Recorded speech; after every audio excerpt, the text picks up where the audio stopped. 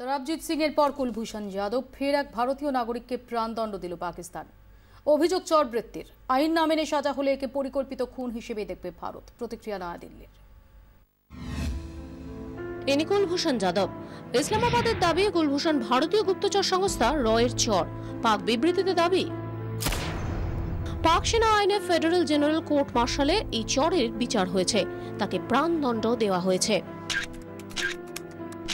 কুলভূষণ চরবৃত্তির কথা স্বীকার করেছেন বলেও দাবি পাকিস্তানে। তারা দাবি করেছে, দুহাজার ষোলো সালে তেসরা মার্চ বালুচিস্তান থেকে কুলভূষণ সুখবীর যাদবকে গ্রেফতার করা হয়। চরবৃত্তির জন্য তার ছদ্মনাম হুসেন মুবারক পাটেল। তার বিরুদ্ধে চরবৃত্তি এবং পাকিস্তানে নাশকতার ছক কষার অভিযোগ আনা হয়। কুলভূষণ আমাদেরই নাগরিক, তার পাসপোর্টও ভারতীয়। একথা একবারও অস্বীকার করেনি ভারত, বরং কুলভূষণকে নিয়ে পাকিস্তানের অবস্থানেই ধোঁয়াশা রয়েছে। প্রধানমন্ত্রী নওয়াজ শরীফের পররাষ্ট্র বিষয়ক উপদেষ্টা সরতাজ আজিজ কুলভূষণের বিরুদ্ধে অভিযোগ নিয়ে সন্দেহ প্রকাশ করেন। ডিসেম্বরে পাক সংসদের সেনেট চেম্বারে সরতাজ বলেন, কুলভূষণ যাদবের বিরুদ্ধে যে ডসিয়ার দেওয়া হয়েছে, তাতে সারবত্তাও নেই। বিচার প্রক্রিয়াও আন্তর্জাতিক আইন মেনে হয়নি। কুলভূষণকে কোনো আইনজীবী দেয়নি পাকিস্তান।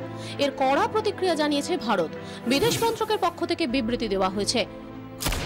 আইন ও ন্যায়ের প্রাথমিক বিধিগুলি মানা না হলে ভারত সরকার ও এদেশের জনগণ একে পরিকল্পিত খুন হিসেবেই দেখবে।